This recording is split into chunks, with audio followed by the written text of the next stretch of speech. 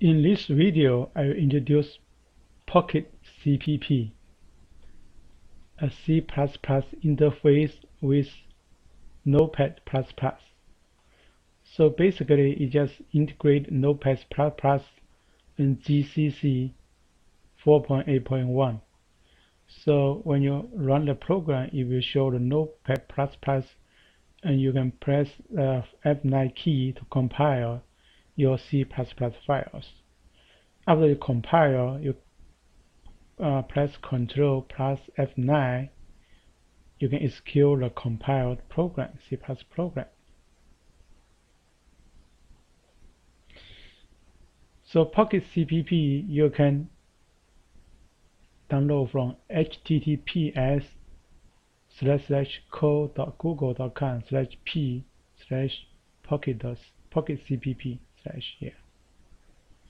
You have two executable files. One is the x64 for 64 bits, x86 for 32 bits. So now most computer is 64 bits. So I already installed this program and run this program.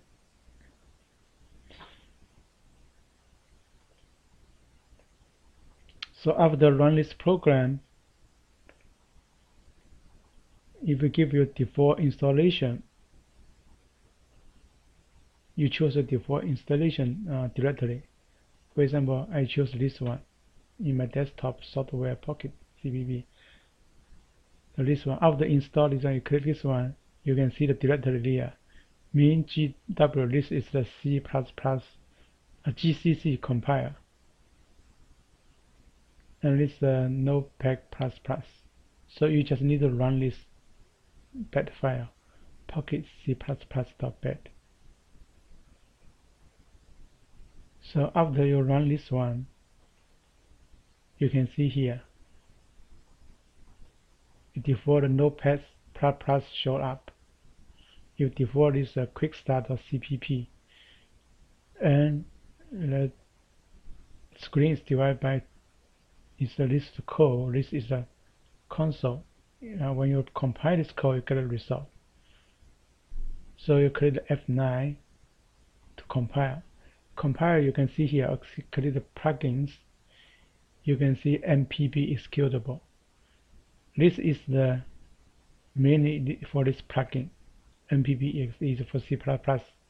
So you can see here, compile C++ use F9. Execute compile files, control F9. So you cannot directly execute. You have to first compile, then Control F9 execute this one. So let's try it. First compile this one. A process started. Now you see process finish. And we go to this again, npbx, and we can execute compile file. You can use the shortcut key Control plus F9. This one F9. If you run this one, you run the code. It's not very fast, but it's okay. You can see here running result. You can also choose you want to choose this uh, font size. You can go to settings, style configuration, configure. You can scroll style. This one you can choose your font size for this uh, C++ but if you want to choose the console file, you need to go to plugin. This npb.exe, you can change console font size. Choose font size.